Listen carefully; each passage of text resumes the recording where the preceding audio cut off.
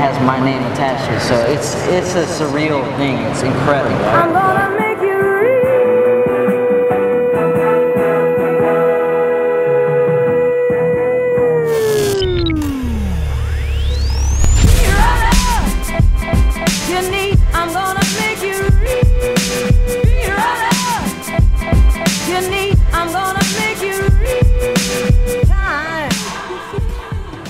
So the sixth shoe now. Mm-hmm. Talk about it, man.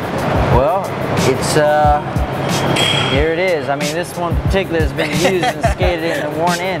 But uh, I don't know, man. I'm loving them. I'm loving them. They're very light, very comfortable.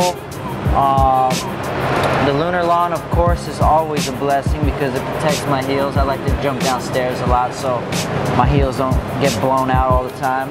Um, and suede. That's really the key component for me. Suede is good, great material for skating. Now, I'm, I'm gonna tell you something about me, man. It's it it's for me it would be like a dream come true to to design a, oh, a yeah. shoe. Oh, yeah. Like for you, how was it? I know you this is your sixth shoe. How was Right. it the first time around? I mean, every time around, it's still exciting. Um, you know, it's not one of those things like as you're doing it, it's not sinking in, and then like you get the finished product in your hand, you're like, holy, like I like this was in my brain. You know what I mean? Like especially well, you're working with the shoe designer, so like this shoe is in combination in both of your brains, and now here it is, and it has a Nike swoosh on it, one of the most recognizable logos in the world.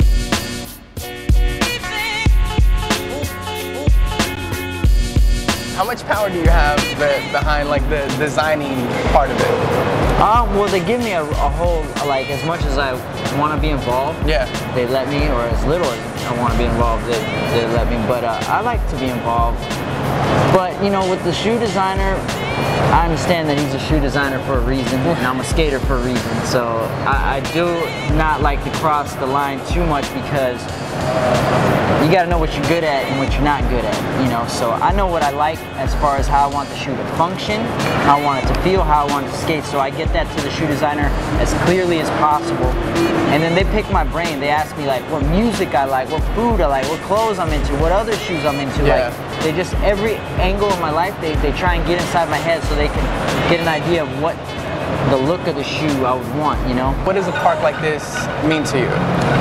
Uh, it means Because before you didn't have one. Right. You- they, they didn't have a lot of skating parks when you were growing up. No, they didn't. When, when I came up, there was no public skate parks for sure. There was one skate park in Simi Valley, uh, and you had to pay to go there. Um, and I would go there, and that didn't open up until after a year or two after I started skating. But um, so I would go there on occasion. But really, I was all in the streets, just random parking lots. If there was a good curb there, or a local, you know, park, or a local. Uh, like rec park, not skate park. Right. And a local, you know, elementary school or junior, whatever, wherever I could skate to physically, I would skate there. You know, that's the only place I had available. So public parks have obviously evolved nowadays. They become really like street simulated. You know, they, Yeah. they simulate the stuff that you'll actually come out and skate in the street. So it's just next level. So now they're they're popping up all over, and I have access to private ones, which is Man. amazing. So now I just have the keys to this place, right? Yeah, we got the access code to this place. Man. Uh, and I'm fortunate enough to have my own place in the valley, so I got options, you know.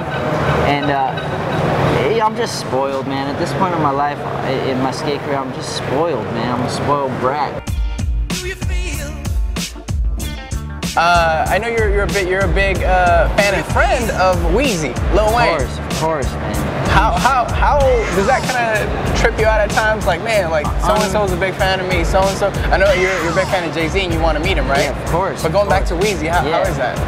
unfathomable. Like I never in my wildest dreams did I think that our worlds would ever cross paths. You know, like he's on some like one of the most famous people on this whole planet. You know, and I'm in this little small pond. I'm a big fish in a small pond. You know what I mean? He's a big fish in a big pond. Yeah. And the fact that he, he gained an interest in skateboarding, and I have been a fan since over a decade. You know, he's been around forever. But I, I started really getting into him 500 Degreez came out, and I was like, damn, this is tight. And then I went back and picked up all the earlier catalog, and then just been picking up every everything he comes out with since. I'm, I'm on top of it, so it's like I'm a true actual fan. Like bought all kinds of tickets to concerts, bought all the albums. But now- now you're every in the- interview on YouTube, every double XL magazine, every like when the, he always you know brings his music and, and he'll just have music playing and he'll just be rapping to it. And like what the trippiest part is we'll be skating at the park and one of his songs will come on because he'll just have a big playlist and play whatever all kind of people's music. And one of his songs will come on and I'll kind of like almost forget that he's there and I'll just zone out and like lip sync to it myself. You know how you always jam out the songs and then I'll look over like You're like, "That's the guy right oh, there." yeah he's right there. And then I'll look at it and his song will be playing I'll, I'll look at it and I'll be like damn this that whole song was in his brain. That was right there in his brain, and that's incredible. Like I trip out on things like that, man. I love being a fan and getting starstruck. I love it. Like even to this day, I'll be around Eric Koston. I'm still like all his video parts he's ever had. I'll- Yeah. They, they play through my mind. I'll just be looking at him, and be like, wow, that's the dude. He did this and that and this. That's crazy, man. I love it. I, it's so inspiring because my whole life growing up, I was I didn't have like an older brother or something like that. So like my older brothers were the people I looked up to. You know, Michael Jordan, Bruce Lee, Jay Z, Weezy, all these. And you want, wait, and so so one of the last things is you want to shake Jay Z's hand. of course, yeah. That's one of the things that you want. That's one of your your, your goals that you want to do. It's a handshake, yeah. Uh, Hello. Well, dude, um, inspiration. Lastly, um, Twitter. I thought I just started following you on Instagram. Oh, And it's what is it? Is it just P Rod 84. P Rod 84? Follow him at P Rod 84. P Rod, you're a humble and cool dude, brother. Thank you. Much appreciated. Thank you so much. Mm. Yeah.